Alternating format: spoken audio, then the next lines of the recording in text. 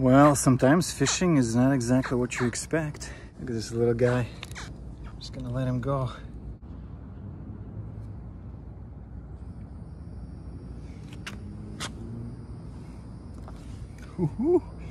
He's aggressive, dude.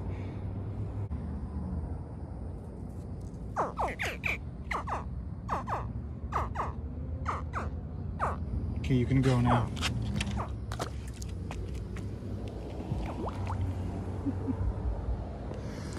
Cute little fella.